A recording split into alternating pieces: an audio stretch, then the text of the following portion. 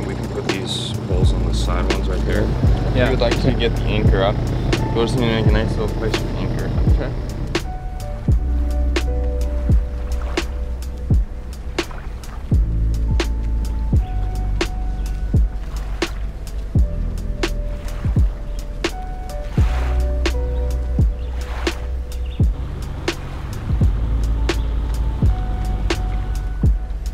Welcome to the maiden voyage of the Don Treader. This is our, our new little boat we're taking it out for uh, our first like big fishing trip.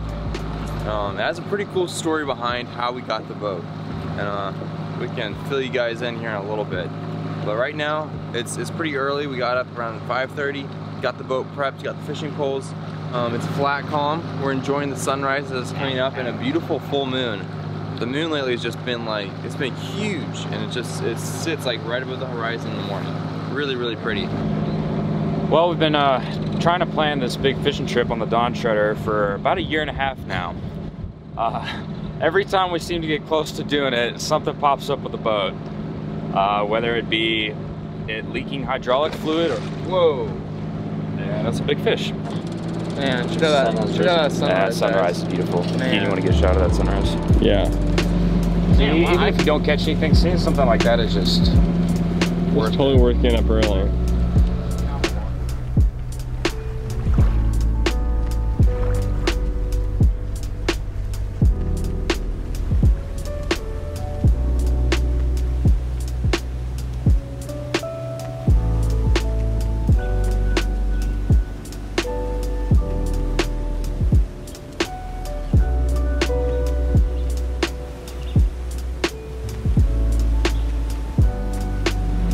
We had planned that we're gonna do a little friendly competition.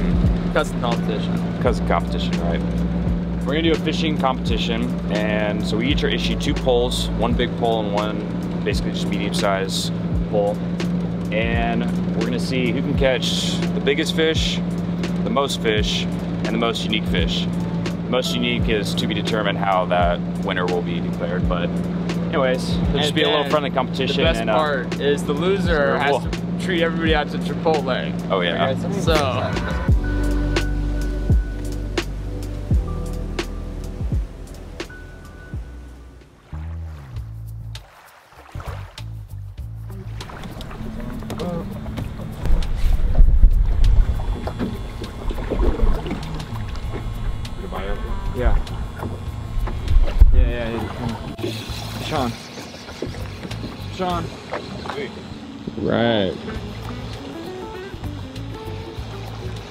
Good song. Oh boy. Just about the most common bottom feeder around here, these parts. So this is a little small guy. He's pretty harmless, except for you got to watch out because there's a barb right here on this fin.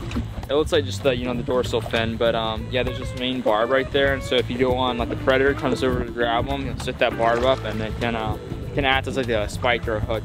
Um, so sometimes it you know gets your hand too, so you got to be careful. All right, Keen's got something on the line. Sounds pretty big, but sounds can be deceiving sometimes. All right, catfish. I say there's a bigger one right there. On his dorsal fin. See that how it's hard right there on the edge? I think it's covered in this slimy venom stuff, so it pokes you. Man, it hurts really bad and it hurts for a long time. So that's catfish number three, right, guys? Number three. All right. Hey, Hudson, should we head, should we move on? That's it's time to move on.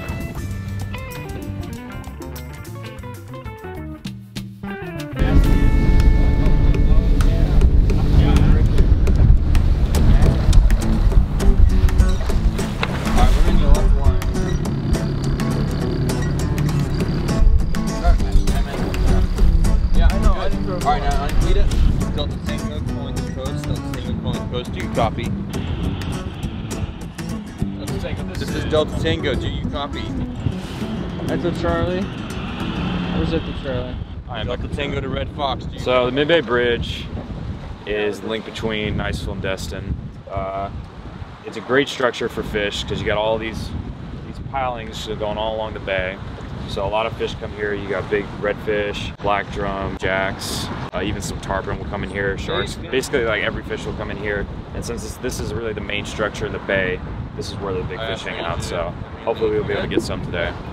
We finally figured out what type of fish is biting underneath here. They're spade fish. Um, we think we found a whole school of them. It's a really cool looking fish. Actually, today's the first time I've ever ever caught one, so I'm pretty excited. Um, they're really good eating, and they're just a really cool looking fish. So we're gonna try to stick around here and see if we can get any more. All right. What happened? You got a bite? Ah, broke. Oh, the hook came on. The hook came untied, guys. Keep on, Keep on. Good job, Logan. Our current method is to kind of pull up behind one of these um, pilings, and I'm just being the captain, just kind of keeping us here. And uh, the boys are fishing, so we have about three or four lines in the water right now. A couple really big strikes, and um, unfortunately they've gotten away, but there's a really big redfish in this area. The snacks and the fish are all together. All the food. All right, so what's going on with the competition? Competition is pretty much at a standstill. I've caught in a mangrove snapper and some catfish. Logan's caught Spade spade fish and some catfish, and um, the cameraman Kian with the spade fish. caught basically the same stuff. So So who's caught the most fish though? Let's see. yeah, I caught one. I got one oh. keepers. And Oh, two. No, I've got three. I got the grind. He's asking rhetorical questions. But- All right, and the most unique if fish. Grandpa hears there's about definitely. this, Definitely a spade The fish. grind. He caught two of those, so. So I think I'm smashing it, guys. for snapper though, I was the only one trying to keep Dude. a snapper. That's And it was so dark too. I've never seen a mangrove snapper that dark before. That was You pretty unique. Very unique. You, you actually, you, just face it, man. Unless you catch like a 80 pound redfish, that definitely can't happen. We'll bite Ashton's Nice line within the next, nice spot. however long we have left. Seven seconds. Anything is possible faith. One, two, three, four, five, six, seven. Mm-hmm. Fish on. No way. Fish on. What? Yeah. You want to keep the catfish? That was crazy. Sorry, are you serious? That was told. That totally just In seven seconds. What? And I paused briefly, and then I eh, pulled on it, even though I didn't feel anything. And all of a sudden, I had one. What a boss. And this is the biggest catfish of today, so maybe this is also the most unique fish. Nope. See, Logan, anything is possible with bait. All right, we're we've kind of caught our quota, I guess, for the day. We're not catching much more, and um, we still need to get back and start some work in school. So it's been a wonderful morning out in the water, a great maiden voyage on the Don Treader. But yeah, time to get back before it gets too windy and stormy out.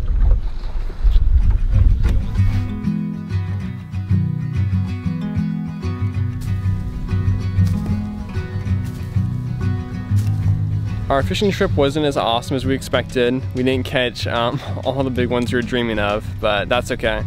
It was an amazing, beautiful day to be on God's creation, and we just enjoyed it.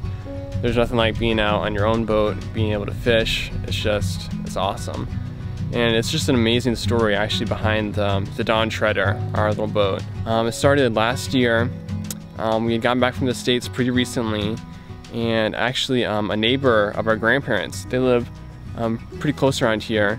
Um, it was actually his boat, uh, Mr. Don.